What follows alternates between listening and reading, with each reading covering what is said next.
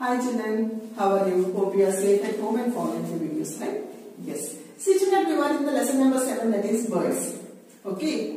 And now we are, uh, in this lesson we were learning many things about birds. And in this session we are going to learn about one more important thing for the bird is a nest. So children, as we know we have, uh, we need a house to live.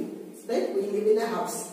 We need a shelter to live, uh, to live and we live in a house, right? In the same way, birds also they need a house, right? And what is this, uh, their house called? It is called as nest. Okay. And uh, as we know that all the birds, they don't have the same type of legs, they, as they don't have the same type of beak, as they don't have the same type of feathers. In the same way, all birds, they do not have the same type of nest. Okay. So, today in this session, we will learn about different kinds of nests. Okay, what we learn today? Different kinds of nests of birds. See children, as I told that these birds they live in nests. And all the nests, all the birds they will not build the same type of nest. They will be building the uh, nest based on their requirement, based on their capacity for building the nest and based on the things which we get, they get.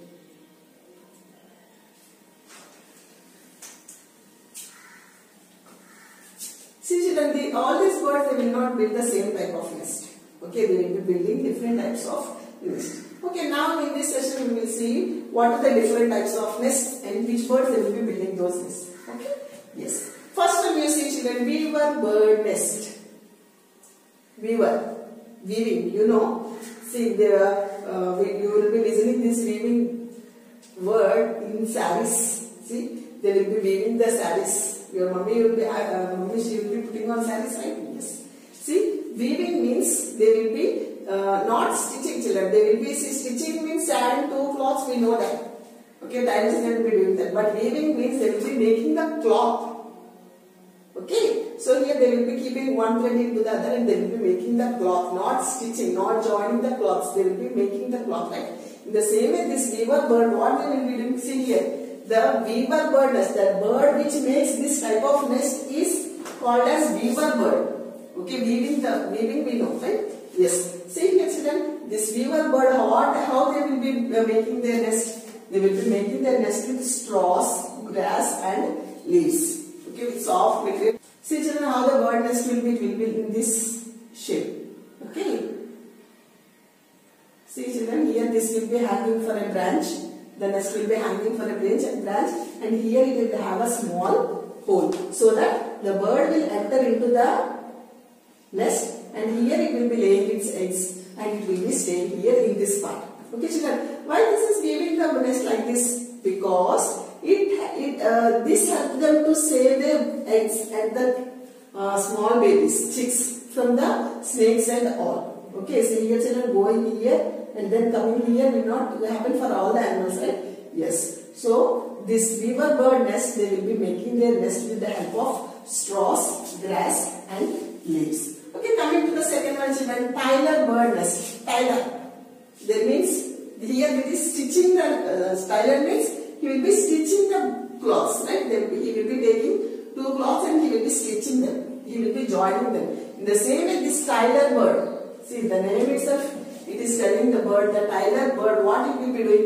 It will be taking long leaves and it will be stitching these leaves with one another so that the nest will be formed like a cup.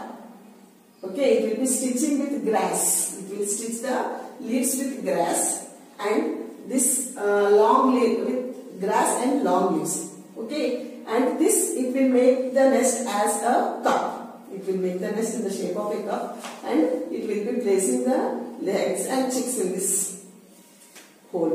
Okay children? So this is how the tailor bird built its nest. Means a tailor bird stitches the long leaves. It uses grass and uh, long leaves to make its nest. Okay, coming to the third one, children, woodpecker nest. Already we told that woodpecker, where it will make the nest? It will be making the nest in the uh, tree trunk. Okay, and uh, it will be making holes in the tree trunk and it will be making the nest. Right? Yes. So here the woodpecker, it will be making the holes in the trunks and it will be making the nest. Next, coming to this children, penguin. See, penguins can they fly? No. Here penguin is an example of flightless birds, right? Yes. And how it will make the nest? See, penguin it has to stay in the cold, uh, snow-covered regions, right?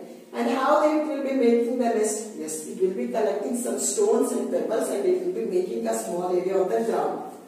Okay, so that snow will not be there on the pebbles and on that it will be keeping these eggs and the babies. Okay, children?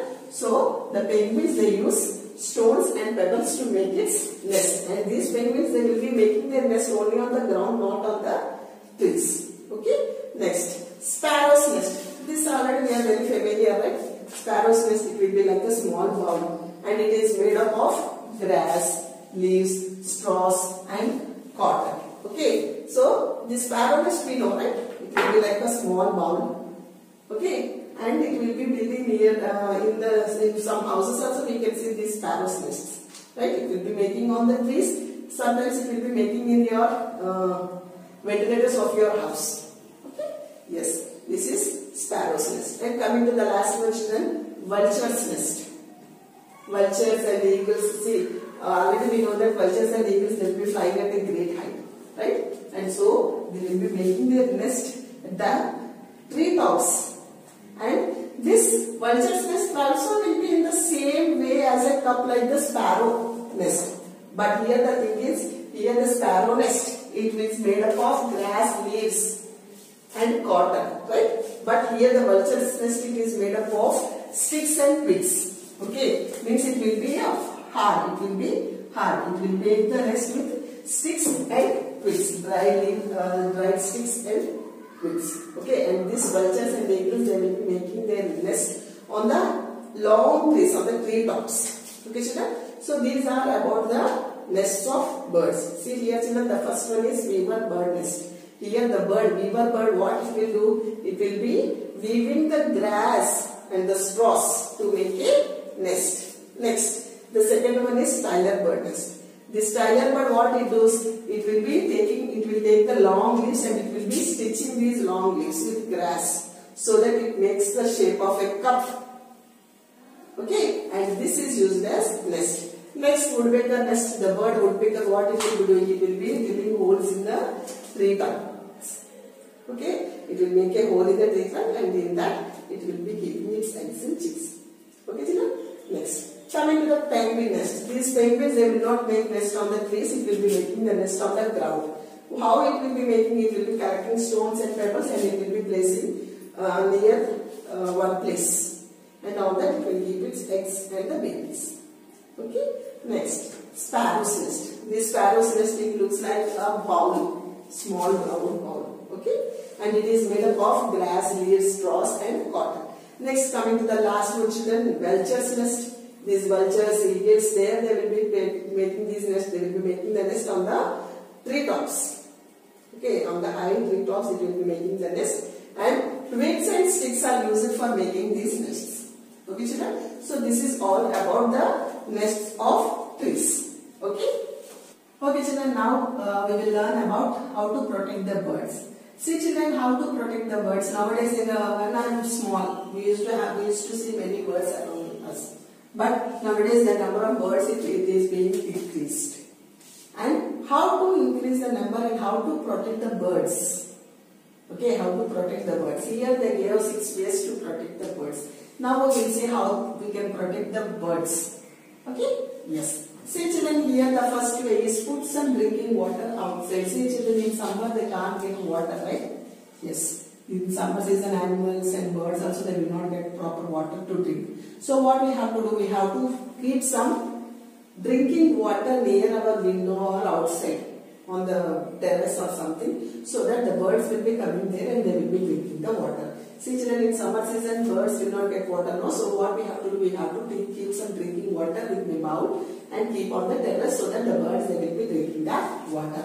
So this is one way how we can protect the birds. And second one, children, elevate bird feeders to protect them from cats. Children, few people what they will be doing? They will be feeding the birds. They will be keeping some uh, grains for the birds. But what we are saying here, elevate the bird feeders means we should not keep the grains and all on the ground. If you keep there, when the bird is eating some cat or dog, it will be coming and it will be hunting the birds, right? So what we have to do, we have to hang these food hang these grains. We have to keep them in a bowl and that bowl should be hung. So that the bird will be sitting on the hanger and it will be eating the food.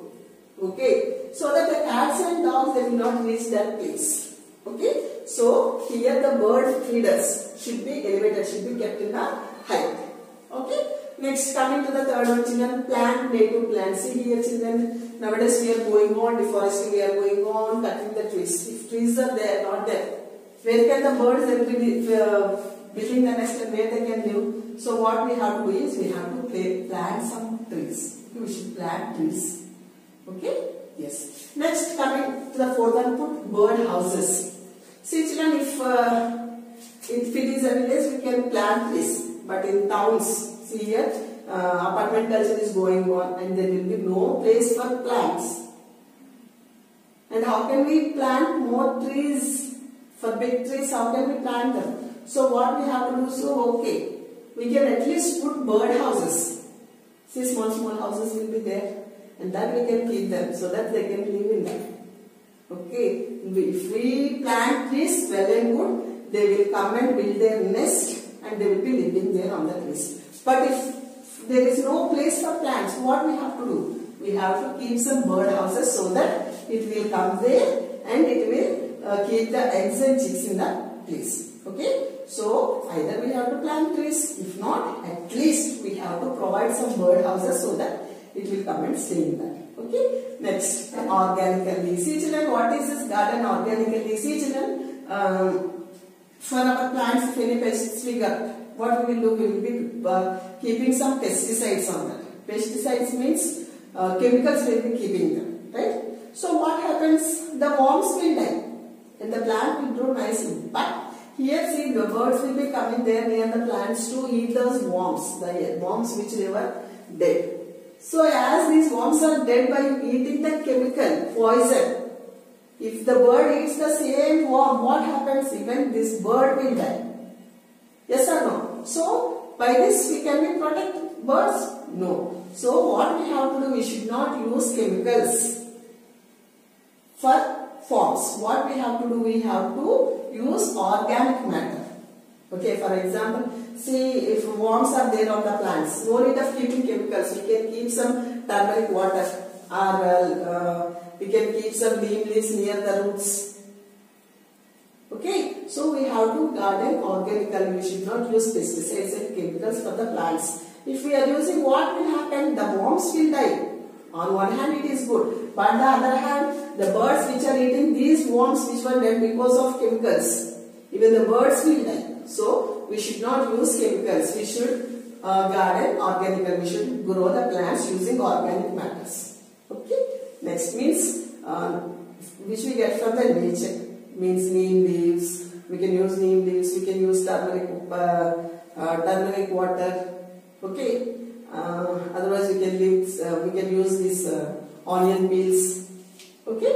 Like that we can use. Right. Next. Coming to the next one, see children. Reduce window strikes. See children. The birds. Have you ever observed the birds? They will be sitting near your window, and it will be knocking the window. Why it is knocking the window? See, because many houses nowadays we are using the uh, one-way glass, right? If you are seeing here, we, our image can be seen. So, what these birds will be thinking, seeing their image in the windows? Oh, one more bird is there. So, what it will be doing? Normally, when we see uh, someone, we want to make friends, right? In the same way, these birds also want to make friends. Then what it? It will be going on striking on the window, and it will be dying. So, don't use this window strikes okay this is the maximum uh, effect which is uh, making the birds die okay China? Yes. So these are the six points how we can save the birds first one is we have to keep some drinking water outside. Okay? Next one we have to keep the bird feeders in the height so that the cats and dog will not reach the birds. Next we have to plant this. Wherever we have place we should plant this so that the birds they can build their nest and they can be increased in their count.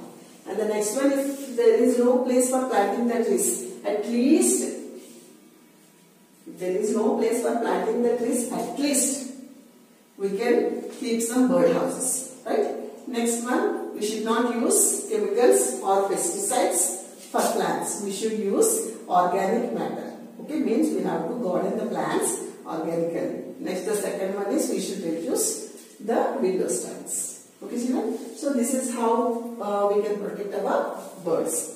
So children, by this session we have completed our birds lesson. Okay, in this birds lesson, what we have learned? We have learned about feathers, beaks, nests, feet and claws, and how to protect the birds or the birds flying. What are the features that help a bird to fly?